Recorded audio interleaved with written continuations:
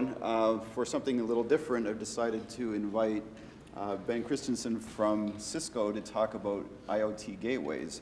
And this is a bit of a teaser for what uh, we've been talking about in Linaro and, and, things that our CTO has been playing with, as he likes to say. So um, I thought it'd be kind of fun to start talking about IoT and the home gateway. So. Thank you. And uh, so this is my first time at uh, Linaro, by the way, Connect, and uh, it's great. Uh, hope to uh, come again uh, next time. So, um, yeah, let me start here. Um, first, I'll just like overview over the presentations. First, I'll give a like a brief overview over why we want to look into this area, and then a use case example of of this gateway here that we productized. And of course, the end is that that uh, the lessons learned is hopefully useful for for other people than just uh, internally within Cisco. All right. So um, just um, uh, to begin with, so IoT, what do we mean with uh, IoT? And and this is not the perfect uh, model, but at least it uh, refines the client-server model a little bit, because every time, well, most of the time when we think about a computing setup, it's usually a, a client and server. But, but uh, in IoT, it's, it's uh, so much more complicated. So there's the people, of course, uh, that are putting more devices online. There's the data, and data being transformed from sensor data to actually uh, information, higher level information. And then there's the, uh, the actual things, the sensors and actuators, collecting all these uh, data. And then in between all this is uh, what, what we call uh, the process, the infrastructure, and that's uh, where we think there's a business uh, where we can make some products and where we can make a, a change. Uh, and then, so what's, why do we want to even build a product in the first place? And of course, uh, it's always fun to tinker with all the, the boards and so on and get it to run at home. I've done it myself, and probably all of you have done it also, uh, to get a light to turn on and, and to talk to a, uh, a thermostat or something else over Wi-Fi or Zigbee or Bluetooth or something like that. But uh, does it actually make sense as a product? And this is some estimation, and I don't care too much if it's you know precisely true, but at least it, it addresses or points into areas where uh, IoT actually makes uh, sense. So for instance, just more efficiency, asset utilization, uh, employee productivity, supply chain, logistics, and uh, customer experience, which is the biggest one. And then uh, also in the uh, innovation category. So basically making existing uh, stuff more efficient and then also open up into new areas. And then uh, where uh, does it make the most impact? So we see at the top line, there's North America, Canada, United States, and Europe and uh, where's the biggest economies. So like those uh, uh, combined gives the biggest dot. So United States and Europe is really the target markets here where IoT really can make a difference. All right. So, so why don't we just do it basically? Like what's, what's uh, to stop us? So uh, what we have experienced, and this is not just us, but uh, is basically the number one is, uh, as is also the theme of this uh, um, today, is uh, security, trust, and privacy. So if that fails, you know, it's game over. We can, like, nobody wants to use it, nobody, uh, we cannot sell it as a product. It's fine for, for the home development and have fun with it, but we cannot sell it as a product. That's just the number one concern or challenge. And then uh, such things as uh, device management to update boxes with new firmware, uh, and also as a service provider, for instance, uh, you want really to be able to manage all the devices in the field. Um, and then uh, data analytics, scalability, rules engines, like all this data collected, how do we make sense of it? Um, it's not trivial, like everybody's saying uh, big data and Hadoop and all that stuff. Uh, and that's great, uh, but you also need to know what to look for because it doesn't just uh, pop up automatically. You really have to know what you're looking for. Otherwise, it doesn't make sense to collect all this data. It's just, you know, filling up storage. Um, and then there's the regulatory and uh, compliance aspect. If you want to make a product, like all the radios and, uh, and in, uh, in one of the verticals, healthcare, you really have to be certified to, well, also sell, sell it as a product. Um, and uh, yeah, uh, not just in North America, but all over the world, and they have slightly different rules in, in North America and Brazil and Australia and so on, and different uh, frequencies for radios, for instance. And uh, then um, extensibility and tellability, like how to add new uh, functions uh, to your devices. If you want to make a platform or framework, you really have to have a way for third parties or even internally a standardized uh, way of uh, adding new apps to your uh, gateway, in this case, or device. And it's not always obvious, for instance, for a framework, where these abstraction layers, APIs you want to provide should be. and I'll come to it in a moment. Um, why it's not trivial.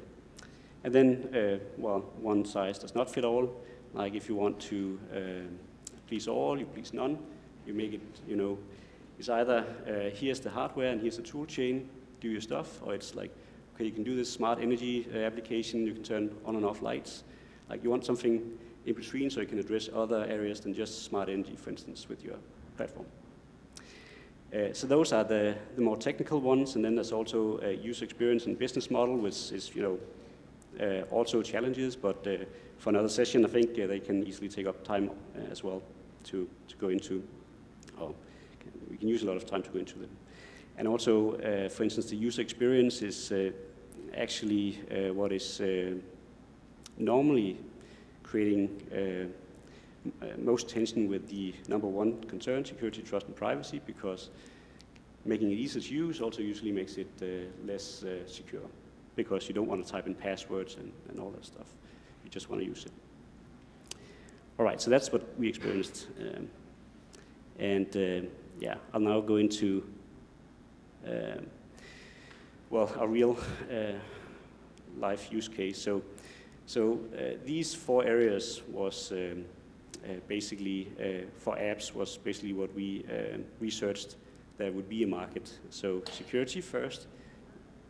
When people are asked to tell you, well, first of all, everybody has their own uh, great idea for an app, and that's, that's awesome. Me too. Um, you want to control the, the garage door opening and closing and so forth. But when you then ask, so would you pay like $50 for that each month? Uh, 30, 10, 5, $1? Then it gets a little bit more tricky, or well, more precise, because then it's more about, for instance, security. People actually want to pay maybe $5 or more per month to secure your family uh, or your grandma somewhere else or mother uh, and so forth.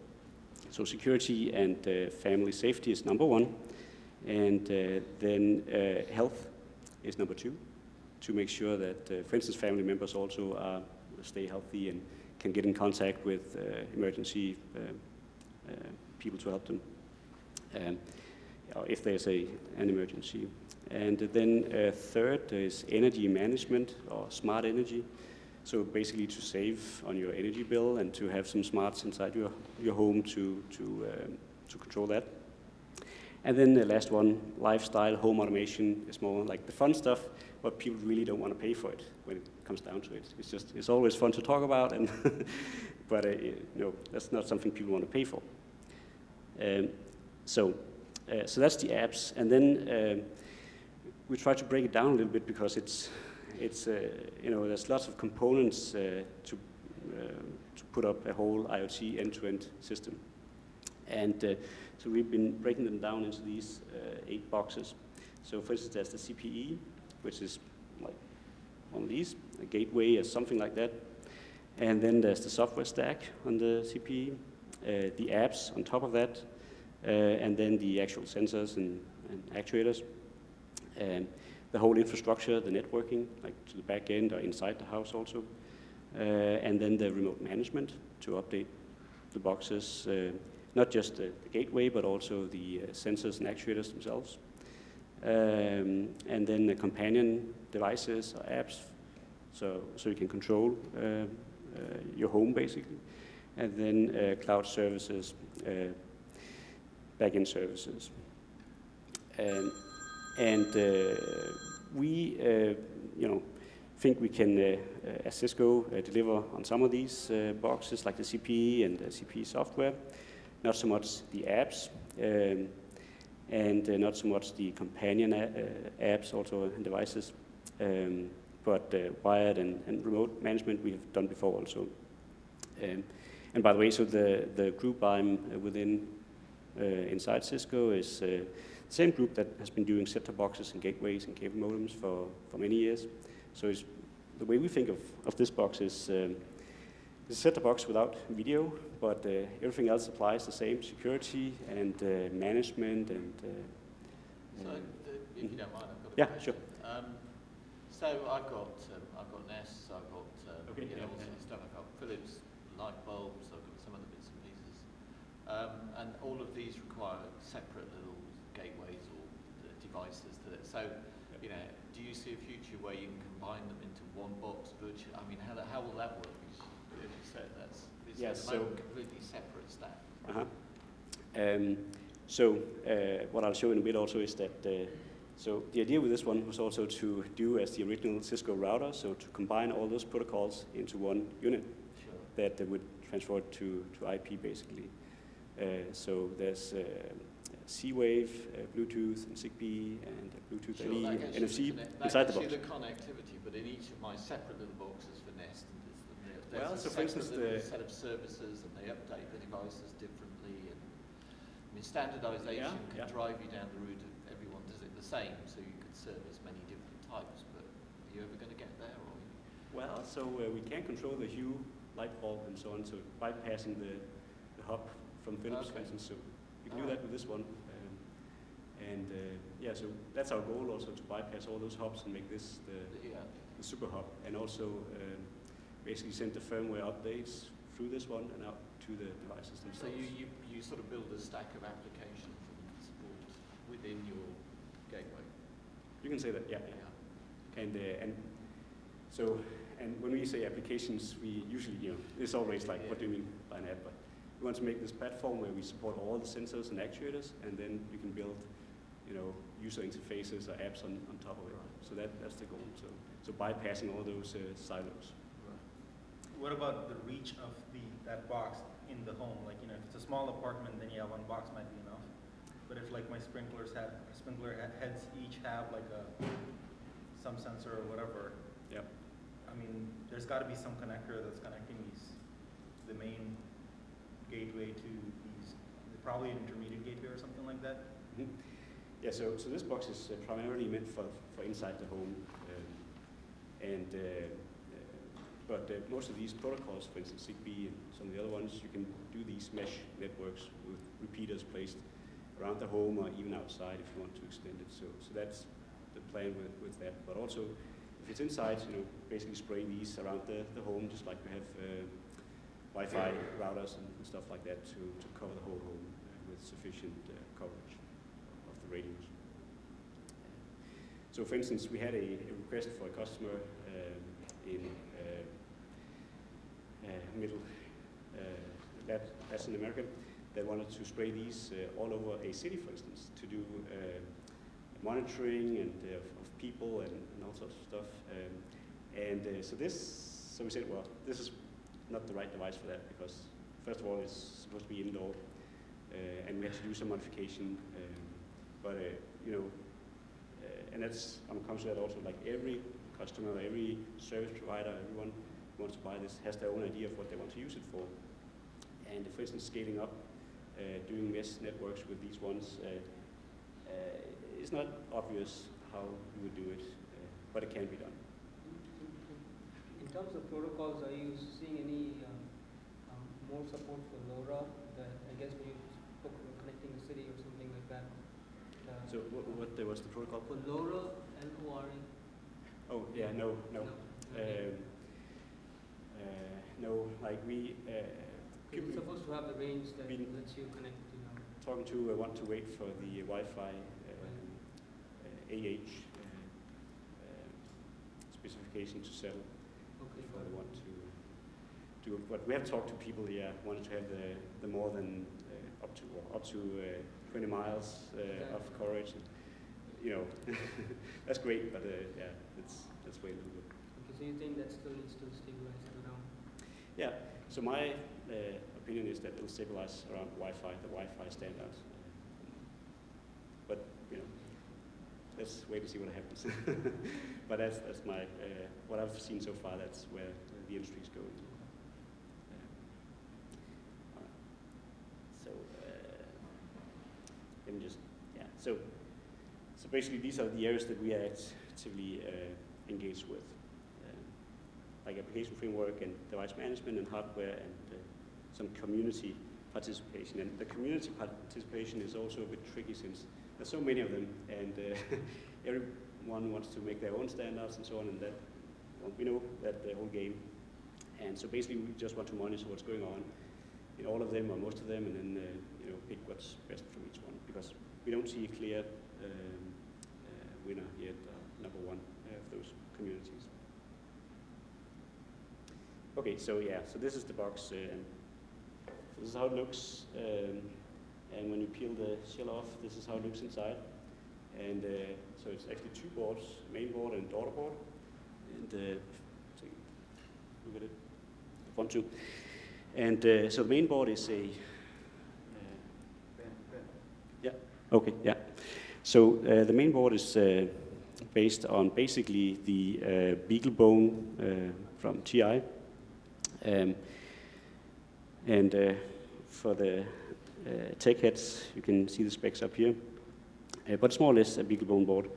Um, and then we have added the uh, daughter board, which uh, contains all the radios. So the idea is that, uh, that this uh, uh, first one is containing all the radios, and all the radios are, are these. CPC Z-Wave, Bluetooth, and NFC. Uh, and then you can add more by USB, which is kind of cheating, but still. Um, uh, so this one contains all the radios, and the idea is that you can slim down to that single radio that you really need into your product or you want to, to use if you don't need them all. Um, but uh, often, actually, so it doesn't give that much of a cost uh, optimization. It's, a dollar or so, or two maybe, uh, to remove a radio. Uh, but the hard part is, well, in the beginning when, when we had to design the, the radios so they don't interfere and, and for instance, ZigBee and Wi-Fi can be used at the same time because that's not, since they are in the same spectrum, that's not uh, trivial. Um, so it's fairly easy to just pull one out and, uh, and save a dollar on each uh, device. But usually when, uh, when people say, for instance, what, why do we need the NFC in that device? And then, well, then, okay, you'll save 50 cents if we pull out the antenna and so on. Then say, well, we might come up with a use case where we can swipe a card and identify user for healthcare um, uh, vertical uh, if there's multiple users in the same home and, and so forth. So actually, sometimes uh, they, they like to have the opportunity to, to expand. And that's the idea of the box also. And also, um, well, I haven't put all the certifications in here, but there's a lot of different certification we have to uh, have the device uh, approved with uh, before we can send it out as a, as a product. And then um, just inside the box, so it's a terrible uh, pictogram, but uh, so the blue uh, box is the software inside the box. So basically, um, well, I guess there's a box for the hardware itself also, but but a secure bootloader, much as the one that Comcast presented earlier, since it's that same set-top box technology with stage one and two uh, bootloader with the chain of trust. So we always uh, have uh, only signed images that loads on the box. And we can go all the way up to install different um, applications, so in this case OSGI jar files that are signed directly and to verify these are, signed by the right party. So basically, it's a, a Linux and then uh, drivers for each of the radios and a dbus that talks to uh, the processes running on the box. And uh, we and we have uh, TR69 here also as the main um, uh, uh, control plane protocol, and a RESTful API uh, to uh, uh, well administer the box. so it has the the usual Wi-Fi router admin interface, so you can add devices and, and remove devices and all that stuff through a web interface, but also a RESTful interface if you want to have your companion app to do it. Um, and then the uh, apps themselves. So we um, uh, promote or recommend that people write in uh, Java, in uh, the OSGI container, uh, basically because, well, it's a, we can secure that environment uh, fairly well and have it sandboxed. Um, and well, also we provide the toolchain also so people can, you know, go amok with C and C++ and do all the fancy stuff they want to. Uh, but uh, what we also got as a request from a lot of uh, our customers, service providers, was that they really wanted uh, Android in the first place because of Java and the nice environment and the SDK and all that good stuff we all uh, love. Uh, and then we said, well, um, you get if you get the Java and, and the whole um, on runtime deployment, would that be fine? Yeah, sure, because most of well our uh, analysis was that uh, most of what is in Android is for, for graphics, for graphic libraries, and uh, there's no screen on this guy, so there's really no reason why we should go into that whole um, uh, well, path with Android for this device. We have Android on other devices, and we could do it, but but uh, we try to keep it uh, super simple with this one. So basically, it's a OSGI environment with APIs for all the radios you can um, you can hook up to the device and also some management interfaces uh, you can uh, use from the OSGI uh, environment. So that's, that's, that's the stack. and um, I'm, so I'm very curious to see the uh, Linaro uh, LITE uh, group, the IoT group, when they get more active and when they propose a whole stack and so on, and, and how that comes to look. Because like uh, two, three, five years ago when we started this project, uh, it would have been nice to have some sort of reference to go with. And this is just, uh, you know, a plain Linux uh, stack, and we just add components as, as we needed them. Um, Was there a reason why you use Java instead of like HTML5 or something like that, like Node.js or some kind of. Well, HTML5, uh, it doesn't have a screen, so well, we could do, we have a Node, for instance, also Node.js running on it, which uh, people like too but uh, mostly because uh, Java is so well known. There's SDKs there, and uh, and we have you know we provide an SDK with Eclipse and with wizards and so on. But you know people like Node.js also, and we have support for that as well. But it's just it's a nice environment, and it's well documented. Um, and you can do uh, runtime deployment and deployment and so forth of uh, Java files in the OSGI environment. So, Yes, yes. We, uh, and actually it's not a big secret, but uh, the, the part of Cisco I'm in was just bought by Technicolor, who is the big proponent of uh, AllSeen. And uh, we've looked at it before, uh, but now it'll become more prevalent, that's for sure. And how about the other, other uh, like IoT or Thread or Yeah, um, we know about them and we monitor them, but as soon as there's a customer asking for them, for it in the in the product, we'll do it.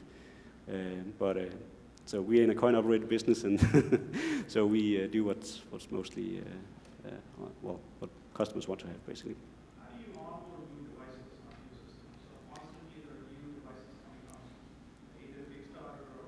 like sensors and actuators devices? Okay, yeah, so it's a very good question. the whole provisioning of uh, sensors and actuators because um, what uh, is usually done, because it's a hard problem or it, it involves steps that uh, maybe you don't want an end user to do, maybe they cannot do it and so forth, is that it's pre-provisioned. So this guy is being sold with a pack of five uh, sensors like an IP camera and, and, motion detector and so forth. And it works together, it's set up, and there's even some, maybe some rules set up for it um, beforehand. Um, but we allow uh, the savvy user to add their own devices as well. So as long as it adheres to ZigBee, the ZigBee protocol and how to do it, and uh, uh, we, we can do it, like open the network for having a ZigBee device, join it for the next 30 seconds and so on. We, you can do that uh, from the web interface um, from the device directly. Um, but uh, so usually the service providers don't like that too much because uh, the next thing that happens when it doesn't work is that they get a phone call and uh, they have to send somebody to, to fix it. So when, on the other hand, when service providers want to maybe upsell that package, if you have your standard package with three devices and you want to buy this, the deluxe package with you know some additional devices, more um, IP cameras for your home, the back door and the front door, and upstairs and so on, you can do it uh, remotely also uh, over the TR69 protocol. So the service providers can pre-provision those devices and they can ship them in the mail and and uh, the user can set it up and it's all uh, pre-configured or ready for it. Um, so, so yeah, so that's that's the way it's normally done. Um, of course, uh, most of us would probably do it ourselves and have fun with tinkering uh, with the device and set up, but uh, that's uh, well, that's not for everybody basically. So it's you know that's degrees of automation and and how to do it manually.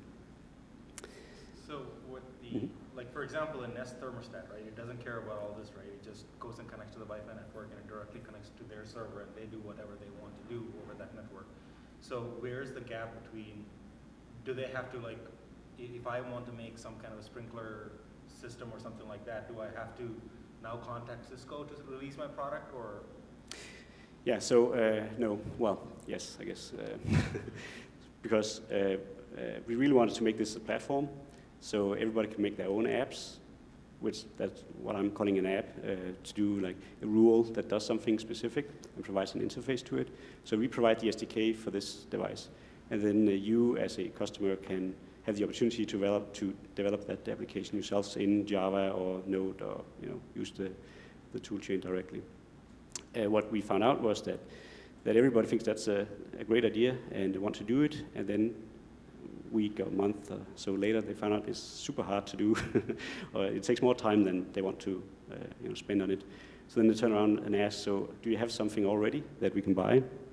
And uh, so that's why we have also partnered up with a couple of companies that provide uh, these uh, apps already, that have a whole infrastructure with, uh, well, on the box directly, and the rules and companion devices, and the backend side.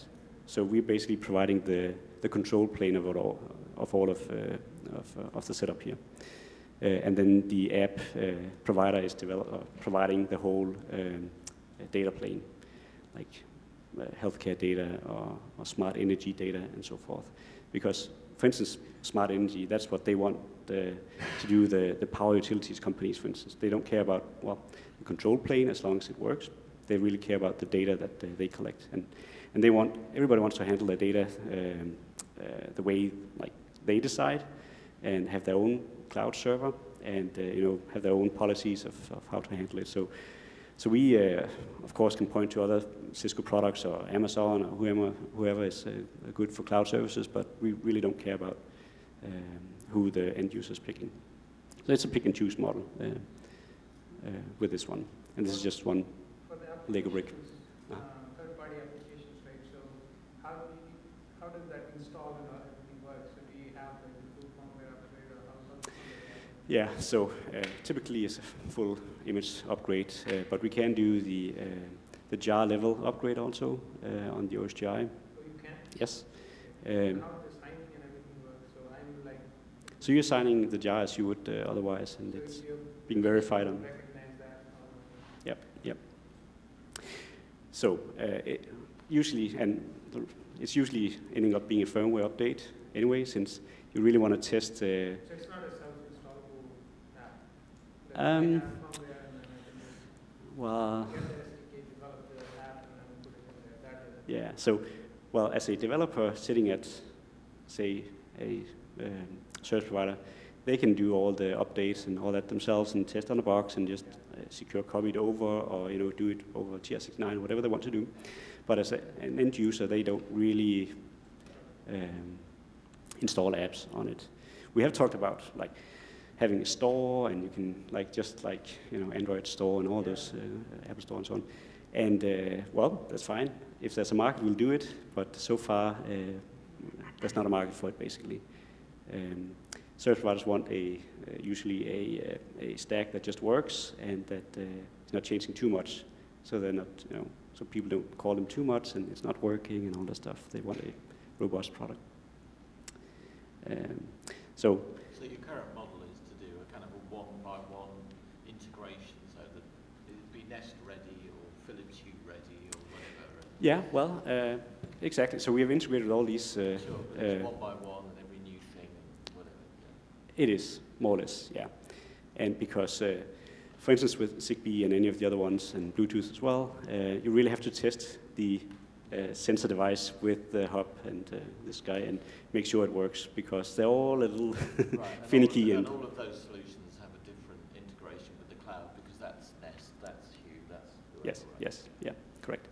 And uh, for instance, uh, one example, and I can just you know show this quickly, that uh, so this is just an end-to-end system, and uh, the uh, hub. So start from the uh, from the right to the left. So the sensors, the hub right there, and then the cloud side over there, and remote uh, access. And uh, I don't want to go through all of these, uh, but this is a full setup with uh, security and uh, device management and so forth, and cloud management. Uh, And that, and that works as well. nicely because all of the, the IoT state, uh, RESTful protocols are, are all well defined. It's the ones into the cloud that are just back in country. Uh-huh. Yeah, and- well, and what we're spending a lot of time on is that uh, right side, uh, the interface to the different uh, sensors and actuators. Yeah, Yeah. okay, yeah. Because, uh, for instance, well, one example is uh, healthcare, uh, and there's a lot of blood pressure devices, Bluetooth, one, ones uh, where you can measure, Yeah. you know, how it's going and, and stream it up over Bluetooth and send it back to a server and get some uh, physician to monitor it, make sure that you're progressing. All right, and, and for instance, the whole um, uh, hospital to home uh, uh, thing that hospitals uh, like and, and security uh, or insurance companies even more that Yeah, people are getting home sooner from the hospital. So, and the, and the, the, Mhm. the sort of technologies on the right, so something like Zigbee is, is going away, staying, just, Um, well, yeah, let's see now. Uh, Zigbee is uh, bigger in Europe than in the US uh, for some reason. Um, so both uh, seems to be um, uh, out there. Uh, Bluetooth is especially for healthcare. Um, and uh, well, Z-Wave, so that's of course controlled by Sigma Systems entirely, and which is you know both good and bad, since there's a lot of products out there like door locks and all sorts of Yeah. and lights and so on that works with the Z-Wave protocol. Uh, but um, yeah, but it's controlled by Sigma Systems. So, and also, for instance, uh, that's the whole security again with uh, the breach of, of Z-Wave a few years back, 2011. Um, so suddenly people could sniff uh, at the data being sent back and forth. Or I think it was the, the session key uh, before they set up a session. They could see that in clear text, and then suddenly you could sniff all the information. And uh, so that's one of the things uh, we cannot do much about. Like we have to rely on the security of these devices because we cannot really control that part of the path. Uh, as, um, as video, for instance, uh, in the last talk um, where you have to be sure that uh, the video is uh, secured all through the path, the video path. We pretty much want to do the same here, like secure all the sense data all the way to the back end. But that first, uh, you know, step is uh, pretty hard since we don't control Z-Wave or Bluetooth. Yeah, and- it was just that, that when I've been researching this, I'm never sure whether Zigbee is a dying duck or a hero. Well, um, it doesn't matter. It's sort of So, but okay, so my take on it, and that's my personal take, is that Sure. it'll go away and the Wi-Fi will take over yeah, in that area. Wi-Fi and Bluetooth. Yeah, yeah. So, but it's still out there, and people are asking for it, and we'll happily, you know, provide it. Yeah. So one question regarding Bluetooth is, well, Could you speak up? Well, we should I can't hear you. Other people may be able. to. Yes, so, is so a question regarding to Bluetooth. So currently the Bluetooth low energy GATT profiles are quite limited what, uh, you know, you can do with sensors and various companies doing various extensions on it.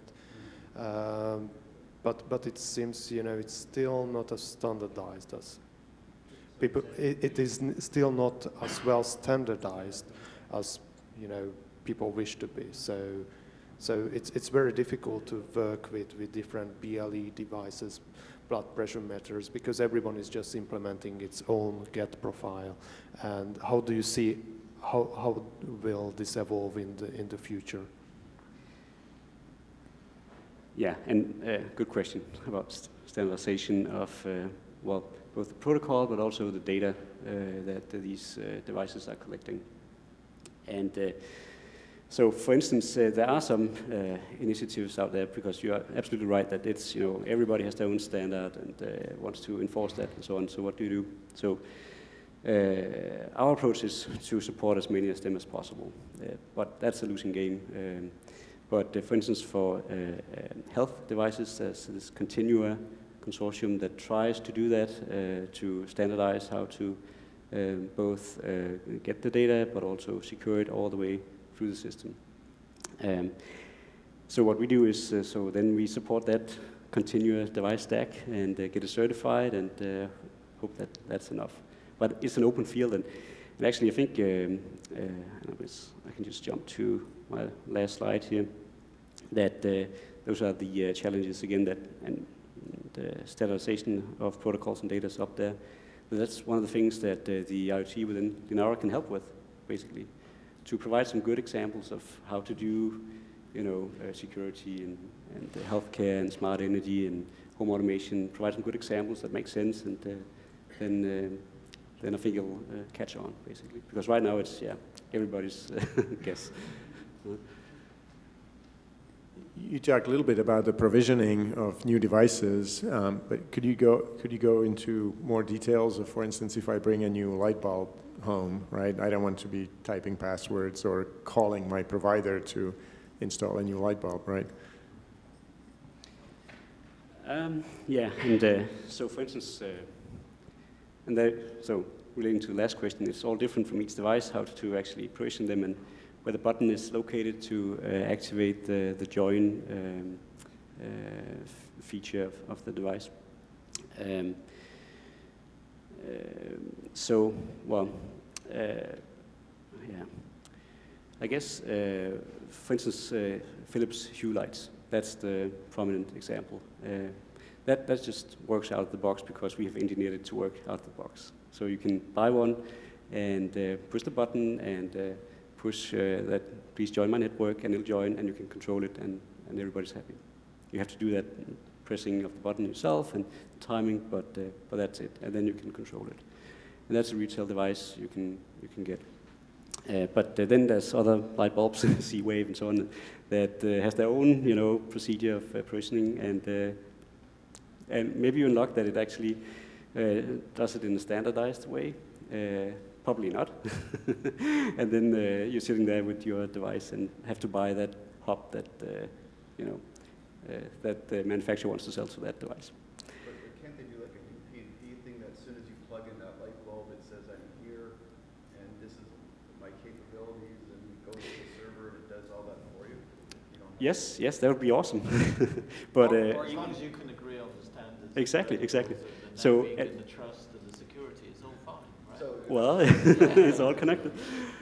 But and uh, since we don't control the devices themselves, like if we did, we would you know do something like this, like just send out a little hello world and I'm here and join. Part, part, of the issue is that the at the point when you're the right hand side of the diagram before, mm -hmm. that those protocols are kind of pretty well standardized and reasonable. You know, that there's a RESTful equivalent for every protocol level in uh, in, in the standard web. But on the at the point you connect with the cloud what is the provisioning and da, da, da, security, it's all different. Yeah. So that's that's really where the, the lack of agreement and, and the big companies are making a land grab for that. You know, so Google, you know, yes. People, yeah. Um, that makes it hard to standardize. Right. I also think you know. So I think the problem around the light bulb that it can be on and off. So there is a very little user experience in, in fact. No, no, no, uh, exactly. You can change the. You can be yes. different brightness and color. Exactly. It's quite so, exciting. Really. Yeah, it, it, for a few minutes, of course. But I, I, I, think the problem is also that companies may try to, to differentiate the experience that you are, get yes. with, with, with the light bulb. light bulbs from eBay or whatever it is. You go closer. And they're all not into? Exactly, which, Yeah. which is working against the standardization of, of, of those interfaces. I think there's a lack of standardization, standardization with the um, cloud integration.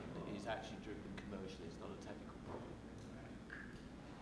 I mean, personally, I would probably like, if I'm buying like a sprinkler system or a light bulb or whatever, then I buy it, I have the option of like, you know, my home network or whatever that gateway is, that you provide services to Amazon or whoever that is. And I, you know, my account or my home is already pre-configured and everything. I, I just have to like say, okay, I'm buying this for my house, so select it. Well, And it all, you'd, you'd hope it would just plug in and work. yeah, yeah, exactly, right? I mean, anything else, I mean, I don't, I, I can probably do it, but my, my wife is never gonna do it, right? Yeah, and uh, also pretty soon it comes into more legal and philosophical questions like who owns the data and all that stuff. You know, it's a legal hell basically for product. And And uh, so there are some frameworks for tying together some of the, you know, the event stuff. You can actually tie events together, but I mean, it's, it's, at the moment, most of the things are tied to a particular account. So if there's more than one of you in a house, which hopefully there usually is, mhm. um, you know, you've all got your accounts to play with the light bulbs, but only one's in control. So, I mean, the whole thing is, is a mess at this point. Yeah, yeah. But so I hope, uh, like the takeaway is that uh, for the Linaro group, that uh, security and privacy is kept really up there on uh, maybe the number one uh, challenge to uh, address. Also, since some of these, most of these devices actually uh, addresses security for the home in the first place, like IP cameras and all that, motion detection and so on. And if that is broken into, uh, we have this whole uh, scene from 2001 Space Odyssey, like, hello, Dave, and uh, we don't want to end there. That's really the last place we want, because then it's game over for, for yeah, this product, but also for privacy in the home as a whole. More comments? Um, my question is, there is so many uh, different uh, standardization organizations and other consortium around the world, different companies and different uh, um, industries, you know, and uh, different uh, requirements for the, from them. We also have somebody mentioned there is such as IIC, such as RED, and uh, many organizations. So how can you uh, how do you think uh, in Linaro we can address all these kind of requirements from different, uh, you know, you know, vertical Yeah. industry? If, if I might make a comment, I think the, the basic kind of sort of within the house, within the office, within the factory kind of integration protocol, Bluetooth, whatever, you know, those are all fine. I think it is where you integrate with the web and services and you have data collected by many different providers and the linkage between those. And, and you're quite right, there are many, many, many consortium and seemingly one, another one a week. You know, um, I think uh, and that doesn't, that doesn't help the ARM community within those spaces because it's incredibly fragmented. So um, there are a number of organisations, mostly academic ones, trying to drive for a standard across this and standards around data and ownership and security. And I think one of the, if, if a bunch of companies could kind of agree which standards to follow and push, I think that would really help some of these integration problems. And well, and yeah, the way uh, that we it, address the issue is basically to uh, support as many as possible. Um, yeah, but it, it would be great to. One of the, um, okay, so for the um, IoT and embedded group, that's one of the key questions. What protocols and consortia, Mm-hmm. Exactly. what standards do you push and follow? But it's also true in other groups, because it- IoT is not just light bulbs, right? I mean, it, it has an impact across all groups in all ways. Yeah. sometimes quite surprising ways, if only for the protocol.